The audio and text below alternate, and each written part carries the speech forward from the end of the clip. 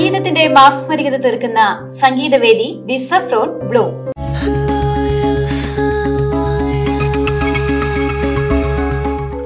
The saffron ബ്ലൂമിന്റെ പുതിയൊരു എപ്പിസോഡിലേക്ക് എല്ലാ പ്രിയപ്പെട്ട പ്രേക്ഷകർക്കും സ്വാഗതം. ഇന്ന് ബ്ലൂമിൽ പാട്ട് വിശേഷങ്ങളുമായിട്ട് എത്തിയിട്ടുള്ളത് രണ്ട് അതിഥികളാണ്. അപ്പൊ പ്രേക്ഷകർ വിചാരിക്കും സാധാരണ നമ്മൾ ഒരാളാണല്ലോ അതിഥിയായിട്ട് പങ്കെടുക്കാറുള്ളത്. ഇന്നെന്താ ഇപ്പോ ഈ രണ്ട് അതിഥികളെന്ന്? അതിനൊരു കാരണമുണ്ട്.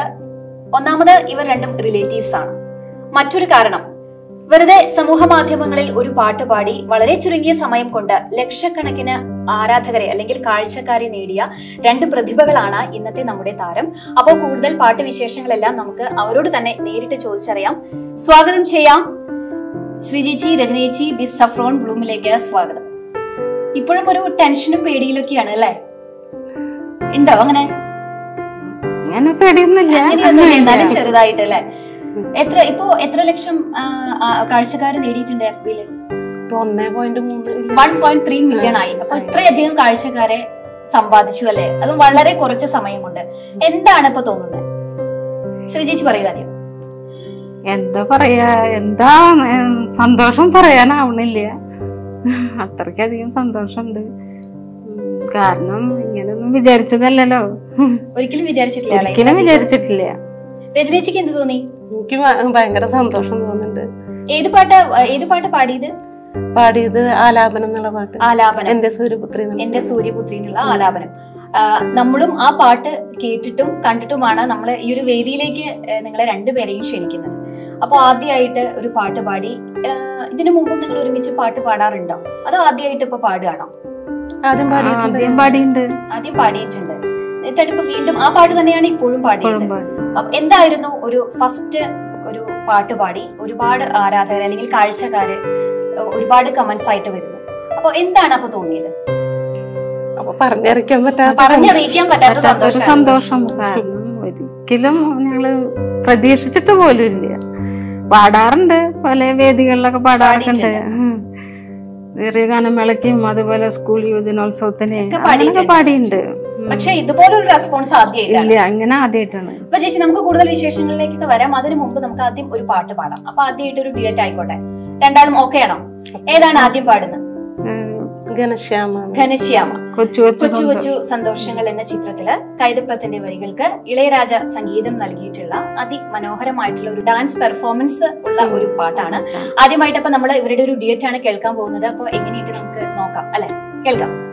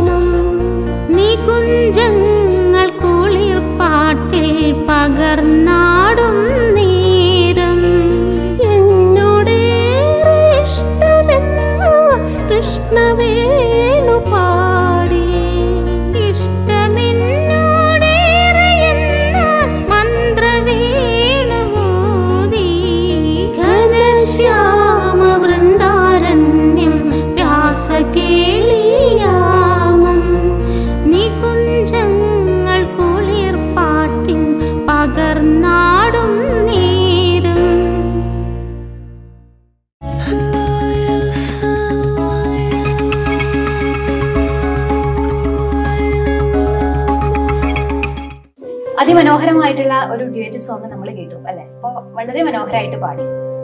നിങ്ങൾ രണ്ടുപേരും റിലേറ്റീവ്സ് ആണ് അല്ലെ? എങ്ങനെയാണ് റിലേഷൻ എങ്ങനെയാണ്? ഏട്ടന്റെ മോളാണ് ശ്രീജ. ഏട്ടന്റെ മോളാണ്. ശ്രീജേച്ചിയുടെ അമ്മായിയായിട്ട് അമ്മായി അമ്മായിയും മരുമകളാണ് അല്ലെ? വീട് അപ്പൊ നിങ്ങൾ ഒരു വീട്ടിലാണോ താമസം അതോ? അല്ല വേറെ അടുത്തടുത്ത് വേറെ വേറെ വീട് അടുത്തടുത്ത്. ശ്രീജേച്ചി എവിടെയാണ് താമസിക്കുന്നത് എന്റെ സ്വന്തം വീട് തിപ്പിലശ്ശേരി. തിപ്പിലശ്ശേരിയാണ്. ആ. ഇപ്പൊ താമസിക്കുന്നത്? താമസിക്കുന്ന ഗുരുവായൂര് ഗുരുവായൂർ. ഗുരുവായൂർക്ക് കല്യാണം കഴിച്ചു കല്യാണം കഴിച്ചു കൊടുത്തിരിക്കുന്നത് ഗുരുവായൂർക്കാണ് അല്ലെ? വീട്ടിൽ ആരൊക്കെയുണ്ട്? കൊണ്ടുപോയ വീട്ടിൽ ഭർത്താവ് മക്കൾ മൂന്ന് മക്കൾ. പിന്നെ എന്ത് ചെയ്യുന്നു? മൂത്താൾ ഒരു പ്രൈവറ്റ് കമ്പനിയിൽ വർക്ക് ചെയ്യാണ്. രണ്ടാമത്തെ ആൾ പ്ലസ് ടു കഴിഞ്ഞു. രണ്ട് കുട്ടികളും പഠിക്കുകയാണ് അല്ലെ? പിന്നെ ഏറ്റവും ചെറിയ ആൾ ഒരാളും കൂടി ഉണ്ട്. ആൾ പത്താം ക്ലാസ് പാസ്സായി പത്താം ക്ലാസ് പാസ്സായി രജനി ചേച്ചിയുടെ വീട് എവിടെയാ? എന്റെ സ്വന്തം വീട് തിപ്പരശ്ശേരി തിപ്പേ- തിപ്പിലശ്ശേരിയാണ് പിന്നെ കല്യാണം കഴിച്ചത് കൂറ്റനാട്. കൂറ്റനാട്. അവിടെ ആരൊക്കെയുണ്ട് അവിടെ ഭർത്താവും രണ്ട് കുട്ടികളുണ്ട് കുട്ടികൾ എന്താ ചെയ്യുന്നത് കുട്ടികൾ മോൾ ഡിഗ്രി കഴിഞ്ഞു.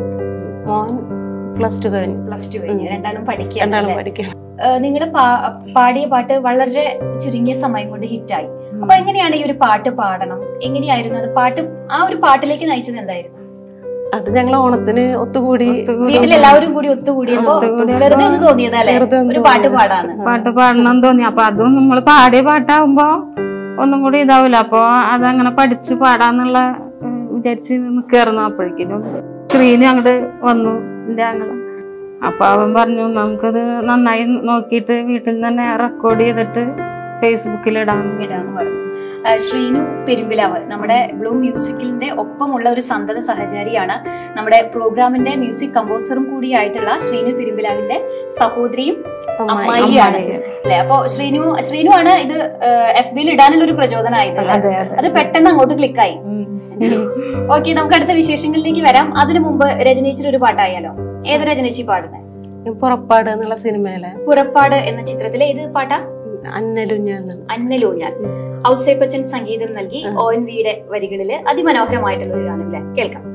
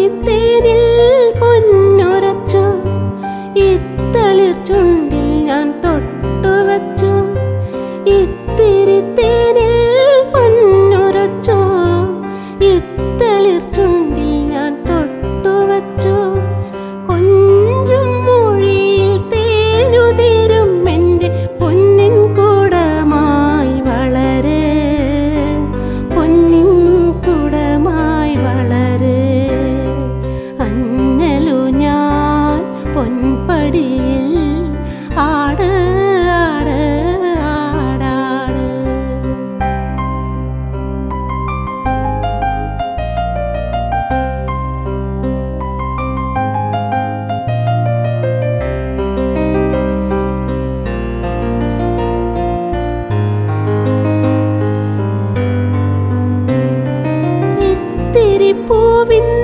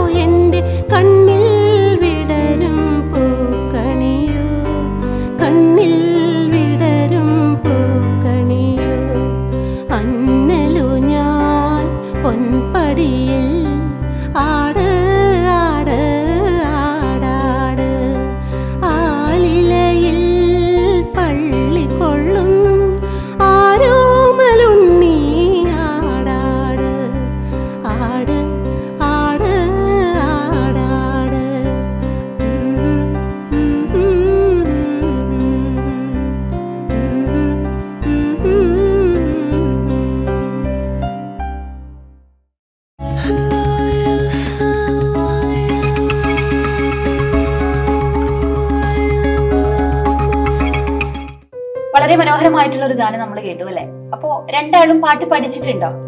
പാട്ട് പഠിച്ചിട്ടില്ല. പാട്ട് പഠിച്ചില്ല. രണ്ടാളും പഠിച്ചിട്ടില്ല. പഠിച്ചിട്ടില്ല. അപ്പൊ ചെറുപ്പം മുതലേ പാട്ട് പാടാനുള്ള ഒരു ഇഷ്ടമൊക്കെ ഉണ്ടായിരുന്നു? പഠിക്കണം ആഗ്രഹം പഠിക്കണം ആഗ്രഹം. എന്തുകൊണ്ടാ പഠിക്കാൻ സാഹചര്യം പഠിക്കാൻ അനുവദിച്ചില്ല അല്ലെ? ആരായിരുന്നു? വീട്ടിലെ പാട്ട് പാടുന്നവരുണ്ടോ? അല്ല ചെറുപ്പം മുതലേ പാട്ട് കേൾക്കാനും അല്ലെങ്കിൽ പാട്ടിനോട് ഒരു ഇഷ്ടം തോന്നാൻ കാരണക്കാരായവര് അനിയന്മാരൊക്കെ ഒരുവിധം കുഴപ്പമില്ലാതെ പാടും. കുഴപ്പമില്ലാതെ പാടും. അതായിരുന്നു പാട്ട് പാടാനുള്ള ഒരു പ്രചോദനം. പ്രചോദനം. ചെറുപ്പത്തിൽ എങ്ങനെയായിരുന്നു പാട്ട് കേൾക്കുക? അന്ന് നമുക്കറിയാം ടി വിയും ഒന്നും ഇല്ലല്ലോ. അപ്പൊ എങ്ങനെയായിരുന്നു പാട്ട് കേൾക്കുക പാട്ട് പഠിക്കുക? അതൊക്കെ എങ്ങനെയായിരുന്നു? ചെറുപ്പത്തിൽ റേഡിയോട് നല്ല ഇതായിരുന്നു അച്ഛനൊക്കെ. ആ അപ്പൊ റേഡിയോ അച്ഛൻ ഇങ്ങനെ വെച്ച് നല്ല പാട്ടുകളൊക്കെ വെച്ച് കേട്ടായിരുന്നു. അപ്പൊ അതിന്ന് ഞാനിങ്ങനെ എഴുതി നല്ല പാട്ടുകൾ എനിക്ക് ഇഷ്ടപ്പെട്ട പാട്ടുകളാണെങ്കിൽ ഞാൻ അത് എഴുതിയെടുക്കും. എന്നിട്ട് പിന്നെ പിന്നത്തെ പ്രാവശ്യം കേൾക്കുമ്പോൾ ഒന്നും കൂടി ശരിയാക്കും അത് അങ്ങനെയായിട്ടാണ് ഞാൻ പാട്ട് പഠിച്ചത് ചെറുപ്പത്തിലൊക്കെ. നിങ്ങൾ ഒരു വീട്ടിൽ തന്നെയാണോ താമസിച്ചത്? അടുത്തടുത്ത്. അടുത്ത- അടുത്തടുത്ത വീട്ടിലായിരുന്നു. അപ്പൊ രജനീച്ചിക്ക് എങ്ങനെയായിരുന്നു ഇതുപോലെ തന്നെ റേഡിയോ ശ്രീജയങ്ങളെ ഒരു റേഡിയോ എന്നാണ് ആ, ഒരു റേഡിയോ നിന്നാണ് പാട്ട് കേൾക്കുക.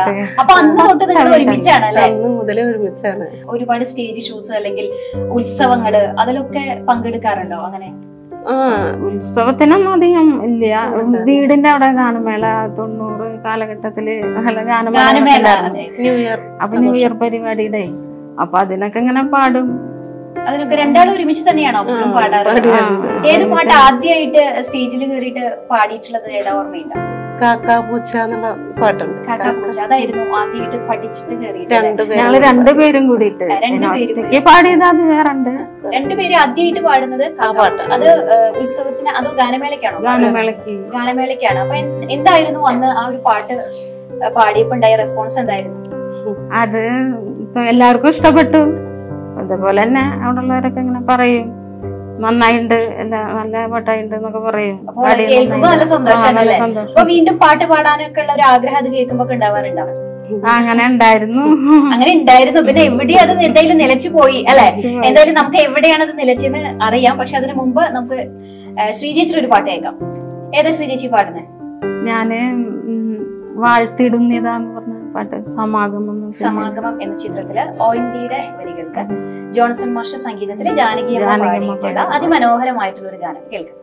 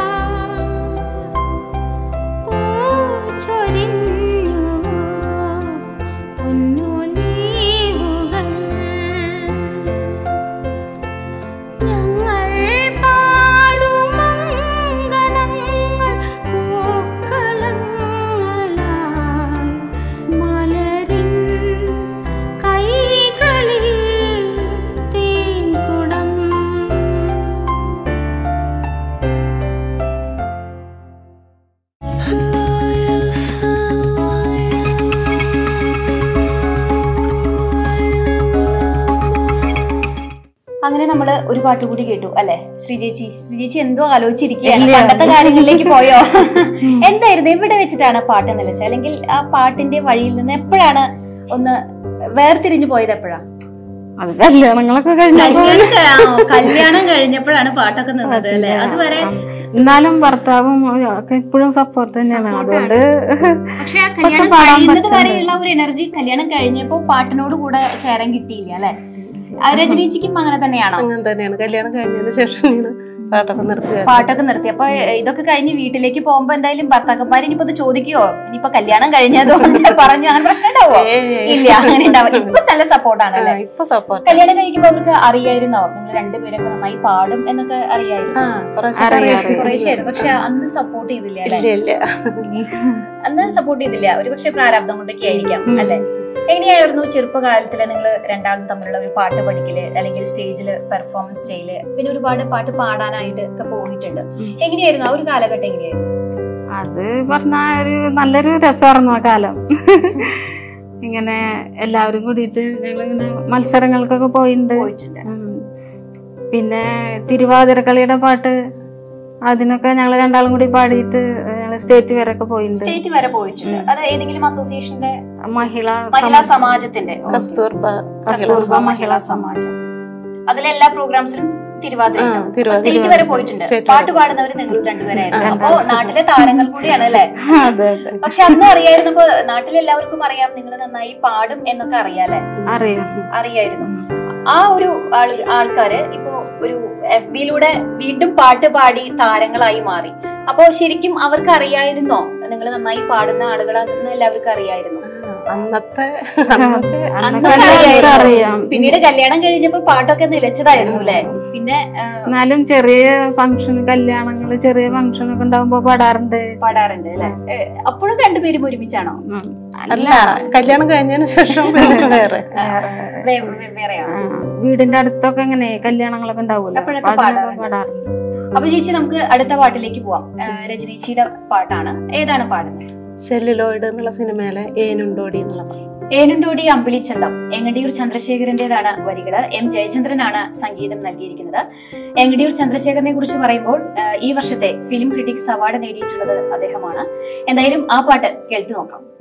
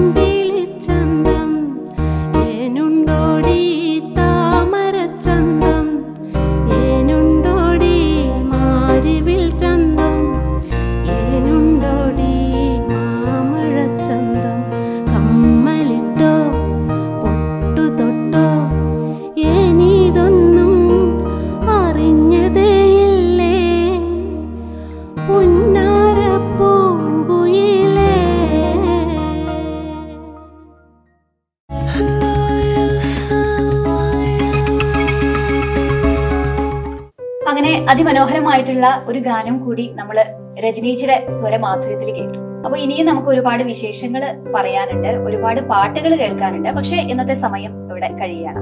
അപ്പൊ ചേച്ചി നമുക്ക് ഇന്നത്തെ സമയം ഇവിടെ കഴിഞ്ഞു. അരമണിക്കൂർ പെട്ടെന്ന് പോയ പോലെ എനിക്ക് തോന്നുന്നത് അല്ലെ? ഒരുപാട് വിശേഷങ്ങളും ഒരുപാട് നല്ല പാട്ടുകളൊക്കെ ആയിട്ട് നമ്മളിങ്ങനെ അരമണിക്കൂർ ആസ്വദിച്ചു. പക്ഷെ ഇനിയും നമുക്ക് ഒരുപാട് വിശേഷങ്ങൾ ഇവരോട് ചോദിക്കാനുണ്ട്. ഇവരുടെ ഒരുപാട് പാട്ടുകൾ നമുക്ക് കേൾക്കാനുണ്ട്. എന്തായാലും ഇന്നത്തെ അധ്യായം ഇവിടെ പൂർണമാവുകയാണ്. ദി സഫ്രഡ് ബ്ലൂമിന്റെ ഇന്നത്തെ അധ്യായം ഇവിടെ പൂർണമാവുന്നു. അടുത്ത അധ്യായത്തിൽ നമുക്ക് ഒരുപാട് നല്ല പാട്ടുകളുമായിട്ട് വീണ്ടും കാണാം. നന്ദി നമസ്കാരം.